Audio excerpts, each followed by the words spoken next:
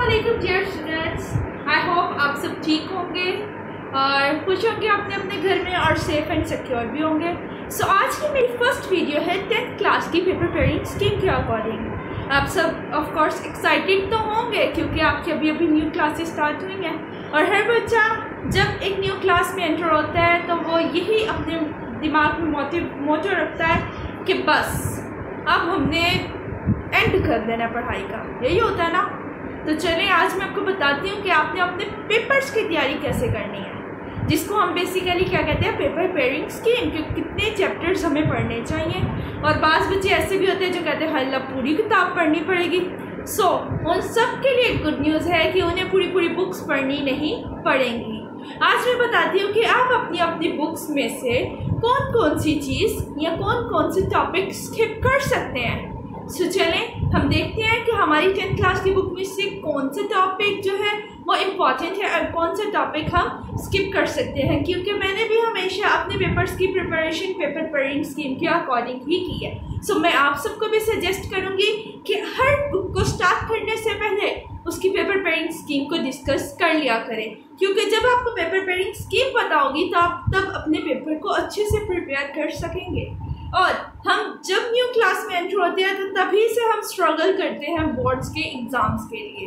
ठीक है ना? यही सबका मोटिव होता है ना? तो आप सबने क्या करना है?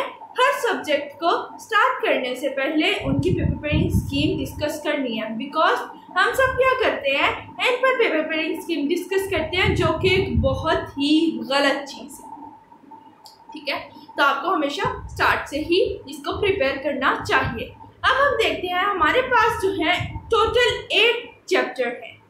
अब क्या होता है, जो आपकी नाइन्थ क्लास की बुक है, उसमें से chapter number one two chapter number eight है, ठीक है? और जो टेंथ क्लास की बुक है, वो chapter number nine two chapter number sixteen है, ठीक है? तो हम देखते हैं कि चैप्टर नंबर नाइन से सिक्सटीन तक बोर्ड के एग्ज़ाम्स में कौन सा चैप्टर इम्पोर्टेंट है और कौन सा चैप्टर इम्पोर्टेंट नहीं है। मैं आपको परसेंटेज के अकॉर्डिंग सब कुछ बताऊँगी कि कौन से चैप्टर में से कितने परसेंट पेपर आना है और कौन से चैप्टर में किस से कितने परसेंट पेपर आना है, ठीक है? उसमें से कितने एम आएँगे, कितने शॉर्ट्स आएँगे, कितने लॉन्ग्स आएँगे, ये सब चीज़ें मैं आज आपको बताऊँगी, ठीक है? तो आप लोग अपनी अपनी बुक्स को अपने अपने हाथ में रखिएगा और एक पेपर और पेंसिल रख लीजिएगा, ठीक है? तो देखते हैं हम अपने चैप्टर्स को। सबसे पहला चैप्टर हमारा चैप्टर नंबर नाइन कौन सा चैप्टर है? आई होप आप सबको ठीक नज़र आ रहा होगा। चैप्टर नंबर नाइन है। उसमें से आपके पास टोटल एमसीक्यूज आएँगे टू ठीक है? ये ऑफ़ कोर्स टू मार्क्स के ही होंगे। उसके बाद चैप्टर नंबर टेन है। चैप्टर नंबर टेन में से आपको आएँगे टू एमसीक्यूज और वो भी टू मार्क्स के ही होंगे। चैप्टर नंबर इलेवन में से वन एमसीक्यूज और वन मार्क का होगा। चैप्टर नंबर ट्वेल्व में से भी वन एमसीक्यूज और वन मार्क का होगा। क्या होगा? एमसीक्यूज के अकॉर्डिंग तो आपको पूरे पूरे चैप्टर्स प्रिपेयर करने पड़ेंगे, ठीक है? उसमें आपको कोई चॉइस नहीं होती कि टोटल एट चैप्टर्स में से एक एक या दो दो एमसीक्यूज आए हुए हैं। चैप्टर नंबर थर्टीन में से टू एमसीक्यूज टू मार्क्स के। चैप्टर फोर्टीन में से वन एमसीक्यू वन मार्क का। चैप्टर नंबर फिफ्टीन में से टू एमसीक्यूज टू मार्क्स के। चैप्टर नंबर सिक्सटीन में से वन एमसीक्यूज वन मार्क का, ठीक है? उसके देखते हैं हमारे शॉर्ट क्वेश्चंस कौन कौन से चैप्टर में से आएँगे। और मैं आपको बताऊँगी कि आपने कौन से चैप्टर्स को अच्छे से शॉर्ट के अकॉर्डिंग प्रिपेयर करना है, क्योंकि शॉर्ट क्वेश्चंस में आप लोग के पास चॉइस होती है। आप लोग को टोटल एट शॉर्ट क्वेश्चन आते हैं, जिनमें से आपने अटेम्प्ट करने होते हैं फाइव सो आप लोग के पास थ्री शॉर्ट क्वेश्चन की चॉइस है। अब मैं बताती हूँ कि आप ऐसा कौन सा चैप्टर स्किप कर सकते हैं जिससे आपको पेपर की तैयारी में भी आसानी हो और आपको पूरे पूरे चैप्टर्स भी प्रिपेयर करने नहीं पड़ेंगे। तो चैप्टर नंबर नाइन में आएँगे थ्री शॉर्ट क्वेश्चंस और चैप्टर नंबर टेन में थ्री शॉर्ट क्वेश्चंस मैं आप लोग को प्रेफर करूँगी कि आप लोग nine and ten chapter prepare कर लें। क्यों? क्योंकि और इसके बाद चैप्टर नंबर इलेवन में से टू आएँगे, ये पार्ट नंबर वन है। ठीक है? हमारे बोर्ड के शॉर्ट क्वेश्चन का पार्ट वन है chapter number nine ten and eleven में से। अब चैप्टर नंबर नाइन में से जो थ्री एमसीक्यूज और टेन में से थ्री एमसीक्यूज है मैं प्रेफर करूँगी कि आप लोग वो अटेम्प्ट करें क्यों क्योंकि जब आप ये दो अटेम्प्ट करेंगे तो आपके सिक्स शॉर्ट क्वेश्चंस प्रिपेयर हो जाएँगे बाज क्या होता है जब हम पेपर में बैठते हैं ड्यू टू कन्फ्यूज़न और ड्यू टू लो कॉन्फिडेंस कि हम पता नहीं कैसा पेपर देंगे और बहुत ऐसी सी सिचुएशन होती है तो आप सबको पास अगर एक एमसीक्यू एक शॉर्ट क्वेश्चन सिक्योर होगा तो आप उसे इजीली अटेम्प्ट कर सकेंगे अल्लाह ना करे कि कोई शॉर्ट क्वेश्चन आपके माइंड से स्किप हो जाए। तो आपके पास एक चॉइस तो होगी ना कि भाई मैंने तो इन चैप्टर्स के सिक्स क्वेश्चन प्रिपेयर किए हुए मैं फाइव अटेम्प्ट कर सकता हूँ इजीली और सेकंड थिंग क्या होगी कि जब आप लोग अपने six short question complete paper में अगर आप लोगों के पास टाइम है टाइम मैनेज करते हैं, वो भी मैं एक वीडियो में आपको बताऊँगी कि आप अपने पेपर्स का टाइम मैनेज किस तरह से कर सकते हैं। ठीक है? तो उसमें आपको क्या होगा? उसमें आपको इस चीज़ की आसानी होगी कि आप लोग अपने सिक्स शॉर्ट क्वेश्चन अटेम्प्ट करेंगे और हो सकता है कि अल्लाह ना करे कोई एक शॉर्ट क्वेश्चन आपका गलत हो जाए तो आपके पास एक सिक्योर तो है ना जो आपने अटेम्प्ट किया हुआ है, ठीक है? इस वजह से chapter number nine and ten में आप लोगों को प्रेफर करूँगी। उसके बाद चैप्टर नंबर ट्वेल्व में से आपको थ्री शॉर्ट क्वेश्चन आएँगे और चैप्टर नंबर थर्टीन में से टू शॉर्ट क्वेश्चन आएँगे और चैप्टर नंबर फोर्टीन में से थ्री ये शॉर्ट क्वेश्चन का पार्ट नंबर टू होगा, ठीक है? अब क्या होगा? चैप्टर नंबर ट्वेल्व और चैप्टर नंबर फोर्टीन में आपको प्रेफर करूँगी। मैंने सिचुएशंस बताई हैं, क्यों? वो मैंने ऊपर आपको बता दिया। उसके बाद चैप्टर नंबर फिफ्टीन में से फोर और चैप्टर नंबर सिक्सटीन में से भी फोर फोर अब फिफ्टीन और सिक्सटीन आपको पूरे पूरे प्रिपेयर करने पड़ेंगे, क्योंकि आप लोग के पास फाइव शॉर्ट क्वेश्चन आपने अटेम्प्ट करने होते हैं। तो आपको एक चैप्टर में से फोर आप अच्छे से एक चैप्टर को प्रिपेयर कर लें और एक चैप्टर में से फोर आने हैं, उसको भी आपको प्रिपेयर तो करना पड़ेगा, क्योंकि उसमें से भी आप एक अटेम्प्ट कर सकते हैं। लेकिन मैं हर शॉर्ट क्वेश्चन के बाद में आपको ये प्रेफर करूँगी कि आप लोग उनमें से five five short six six short question attempt करें रादर देन फाइव ठीक है? अब इनकी मार्क्स बता देती हूँ कि हर शॉर्ट क्वेश्चन जो है वो टू मार्क्स का होगा। अब चैप्टर नंबर नाइन में से थ्री शॉर्ट क्वेश्चन है तो ये कितने मार्क्स के हो गए? सिक्स मार्क्स के। चैप्टर नंबर टेन में से थ्री शॉर्ट क्वेश्चन है सिक्स मार्क्स के। चैप्टर नंबर इलेवन में से टू शॉर्ट क्वेश्चन है फोर मार्क्स के। चैप्टर नंबर ट्वेल्व में से थ्री शॉर्ट क्वेश्चन है सिक्स मार्क्स के। चैप्टर नंबर थर्टीन में से टू शॉर्ट क्वेश्चन है फोर मार्क्स के। चैप्टर नंबर फोर्टीन में से थ्री शॉर्ट क्वेश्चन है सिक्स मार्क्स के। चैप्टर नंबर फिफ्टीन में से फोर शॉर्ट क्वेश्चन है एट मार्क्स के। चैप्टर नंबर सिक्सटीन में से भी एक फोर क्वेश्चन शॉर्ट क्वेश्चन है एट मार्क्स के। सो इस तरह आपके शॉर्ट भी इजीली अटेम्प्ट हो जाएँगे। उसके बाद हम लॉन्ग क्वेश्चन की तरफ़ चलते हैं। अच्छा लॉन्ग क्वेश्चन में ना आजकल एक कंट्रोवर्सी चल रही है कि हो सकता है कि इस चैप्टर में से भी आ जाए और इस चैप्टर में से भी आ जाए। जैसे ही कोई ऐसा नोटिफिकेशन आता है, मैं आप लोग को जल्द ही बताऊँगी, ठीक है? लेकिन अभी इसमें कुछ कंट्रोवर्सीज चल रही हैं तो उसके अकॉर्डिंग आपको पूरे पूरे चैप्टर्स प्रिपेयर करना पड़ेंगे। मैं आपको बताती हूँ कैसे। बिकॉज़ जब भी रिसेंटली पेपर हुए हैं, उनमें से उन्होंने थोड़ा सा चेंज कर दिया, उनमें से उन्होंने दूसरे चैप्टर्स में से लॉन्ग दे दिया। जो पिछला टू थाउज़ेंड का पेपर था, उसमें से short question different chapters long question different chapters में से आए थे।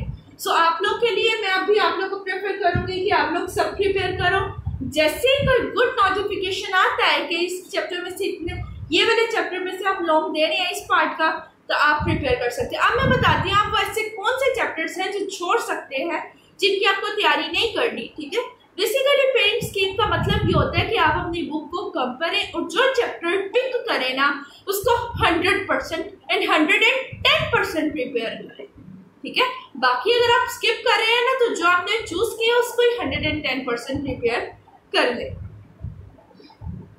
चैप्टर नंबर नाइन में से आप लोग के पास एक लॉन्ग क्वेश्चन आएगा और चैप्टर नंबर टेन में से भी एक। अब इन दो लॉन्ग क्वेश्चन के दरमियान कॉन्ट्रोवर्सीज चल रही है कि चैप्टर नंबर नाइन में से लॉन्ग आएगा या चैप्टर नंबर टेन में से आएगा। अभी मैंने इसको क्वेश्चन नंबर फाइव का ए पार्ट दिया, जो लॉन्ग क्वेश्चन नंबर वन है, ठीक है? उसके बाद चैप्टर नंबर इलेवन में से, नहीं चैप्टर फाइव का बी पार्ट जो है वो चैप्टर नंबर ट्वेल्व में से होगा। चैप्टर फाइव का बी पार्ट ट्वेल्व में से होगा, ठीक है? चैप्टर जो क्वेश्चन नंबर फाइव का ए पार्ट है, वो chapter number nine and ten में से भी कंट्रोवर्सी चल रही है और चैप्टर नंबर फाइव का बी पार्ट जो है वो चैप्टर नंबर ट्वेल्व में से है। जो चैप्टर नंबर इलेवन है ना, वो क्वेश्चन नंबर सिक्स का ए पार्ट है। उसकी कोई कंट्रोवर्सी नहीं है, उसको आपने अगर प्रिपेयर करना है तो करें गुड रहेगा, ठीक है? उसके बाद चैप्टर नंबर थर्टीन में से क्वेश्चन नंबर सिक्स का B part question number six में कोई कंट्रोवर्सी नहीं है। सो so, मैं प्रेफर करूँगी कि आप लोग सबसे पहले तो क्वेश्चन नंबर सिक्स को अटेम्प्ट करें जो कि chapter number eleven and chapter number thirteen में से है। ठीक है? तो आप लोग इसको पहले प्रिपेयर करें। और लॉन्ग क्वेश्चन का सिस्टम यह होता है? कि जो ए पार्ट है उसमें से फाइव मार्क्स का क्वेश्चन आता है और जो बी पार्ट है वो फोर मार्क्स का होता है ठीक है? सो so, आप लोग को प्रिपेयर तो सब करना पड़ेगा क्योंकि टोटल लॉन्ग हमारा नाइन मार्क्स का होता है। अच्छा जी उसके बाद जो हमारा क्वेश्चन नंबर सेवन है उसका A part chapter number fourteen में से आएगा और B part chapter number fifteen and sixteen में से भी आएगा। इसमें भी कंट्रोवर्सी चल रही है। सब आप लोगों ने सिलेक्ट करना है कि आप लोगों ने चैप्टर नंबर नाइन टेन और twelve chapter number fourteen fifteen and sixteen इन दोनों, इन तीन तीन में से कोई से तीन प्रिपेयर करने हैं, ठीक है? और आपका लॉन्ग क्वेश्चन अटेम्प्ट हो जाएगा। अब मैं बताती हूँ कि जो ए पार्ट है, उसके फाइव मार्क्स हैं, यानी जो chapter number nine and ten है, उसमें से आई होप सो कि फाइव मार्क्स का हो। और बल्कि डेफिनेटली फाइव मार्क्स का ही लॉन्ग क्वेश्चन ए पार्ट आएगा। जो चैप्टर नंबर ट्वेल्व है B part question number five का, वो फोर मार्क्स का होगा। Chapter number eleven question number six का ए पार्ट है तो वो भी फाइव मार्क्स का होगा। Chapter number thirteen question number six का बी पार्ट है तो वो फोर मार्क्स का होगा। ऐसे ही चैप्टर नंबर फोर्टीन जो है क्वेश्चन नंबर सेवन का ए पार्ट है, ये फाइव मार्क्स का चैप्टर नंबर फिफ्टीन और सिक्सटीन में से क्वेश्चन नंबर सेवन का बी पार्ट आएगा तो ये कितने मार्क्स का होगा? फोर मार्क्स के होंगे, ठीक है? अब मैं इसके परसेंटेज के अकॉर्डिंग आपको बता देती हूँ और टोटल मार्क्स बता देती हूँ कि कितने चैप्टर में से कितने मार्क्स का आपके पास पेपर आएगा। तो चैप्टर नंबर नाइन है तो उस पूरे चैप्टर में से आपके पास बोर्ड का थर्टीन मार्क्स का पेपर आएगा चैप्टर टेन में से भी थर्टीन मार्क्स का। मैं फिर बता दूँ, इन दो चैप्टर में ऊंच नीच हो सकती है बिकॉज़ इनके लॉन्ग क्वेश्चंस में अभी कंट्रोवर्सी चल रही है।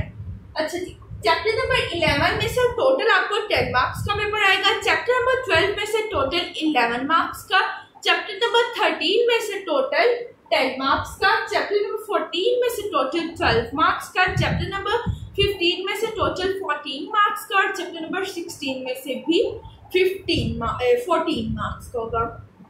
अब जो चैप्टर नंबर नाइन है, वो परसेंटेज के according twenty one percent paper हमारे पास चैप्टर नंबर नाइन में से आएगा और चैप्टर नंबर टेन में से भी ट्वेंटी वन परसेंट ठीक है?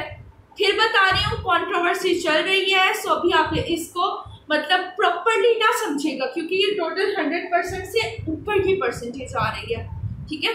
चैप्टर नंबर इलेवन में से sixteen point six percent chapter number twelve में से eighteen point three percent chapter number thirteen में से sixteen point six percent chapter number fourteen में से twenty percent chapter number fifteen और सिक्सटीन में से twenty three point three percent and twenty three point three percent. So सबसे पहले तो चैप्टर फिफ्टीन और सिक्सटीन को अच्छे से प्रिपेयर करना ठीक है?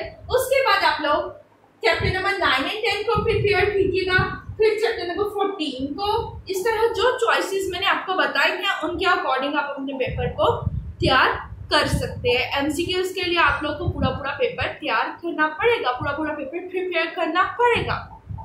ठीक है? ये तो हो गई आज की हमारी पेपर पेइंग स्कीम अब हम आगे के जो लेक्चर है, उनमें हम लोग इंट्रोडक्शन पढ़ेंगे कि हर चैप्टर कौन कौन उसमें क्या क्या टॉपिक इंक्लूड है कौन कौन सा इम्पोर्टेंट है कौन कौन सा लॉन्ग के लॉन्ग क्वेश्चन के लिए इम्पोर्टेंट है, कौन सा शॉर्ट क्वेश्चन के लिए इम्पोर्टेंट है, ये सब चीज़ें हम उस चैप्टर में डिस्कस करेंगे। क्योंकि हमें चैप्टर की तैयारी का पता होगा देन ही हम उसको आगे कंटिन्यू कर सकेंगे ना। ठीक है? तो आप लोगों ने अपने अपने मतलब केमिस्ट्री के रजिस्टर सेपरेटली प्रिपेयर करने हैं, ठीक है? जहाँ से हम अपनी तैयारी को फर्दर लेकर चलें। मैं यहाँ पर आप लोग की प्रॉपर एक अकेडमी तो रन नहीं कर रही हूँ, लेकिन आप लोग एक ऐसा यूट्यूब प्लेटफॉर्म दे रही हूँ बिकॉज़ यूट्यूब तो आज हर कोई बच्चा यूज़ कर रहा है, ठीक है? तो एक आपको यूट्यूब में ऐसा प्लेटफॉर्म दे रही हूँ, जो आपको अकेडमी जैसा माहौल दे। कोई भी मसला हो, कोई भी टेंशन हो, आप कमेंट में मुझसे पूछ सकते हैं, मैं कमेंट में आपको बताऊँगी। उसके बाद हम लाइव सेशंस रखेंगे। जब मेरे थोड़े से सब्सक्राइबर्स ज़्यादा हो जाएँगे, तब हम एक लाइव सेक्शन लाइव सेशंस रखेंगे, जिनमें बच्चे मेरे पास लाइव आएँगे और मैं उनसे लाइव क्वेश्चनिंग करूँगी और वो भी मुझसे, उनकी भी जो प्रॉब्लम्स हैं, वो डिस्कस करेंगे और मैं उन्हें उनके आंसर्स दूँगी, ठीक है? तो ये मैं आपको एक ऐसा इन्वायरमेंट दे रही हूँ जहाँ आप लोग घर बैठे अपनी अकेडमी का काम कर सकते हैं और अपनी केमिस्ट्री को बेस्ट कर सकते हैं। ठीक है? आई होप सो फर्दर मेरे पास कुछ ऐसे टीचर्स आए जैसे कोई आपको बायोलॉजी का टीचर मिल जाए, कोई फिजिक्स का मैं आप लोग को टीचर दे दूँ, ताकि वो भी आपको यूट्यूब पर स्टडी करवा सके। आप अपनी अकेडमीज में भी जाएँ, लेकिन वहाँ से आकर आपको कोई भी टॉपिक का, कोई भी चीज़ का इशू आता है तो आप इस चैनल पर आकर मेरे यूट्यूब वीडियोस से कोई ना कोई इन्फॉर्मेशन ले सकते हैं, या रादर देन आर टॉपिक कोई और आपको इन्फॉर्मेशन चाहिए हो तो आप वो भी मुझे कमेंट सेक्शन में बता सकते हैं कि हमें ये चीज़ मसला दे रही है, आप मुझे ये बता दें। Without any income without any payment मैं आपको वो आंसर दूँगी। बिकॉज़ इल्म हासिल करना हर मुसलमान पर फ़र्ज़ है, ठीक है?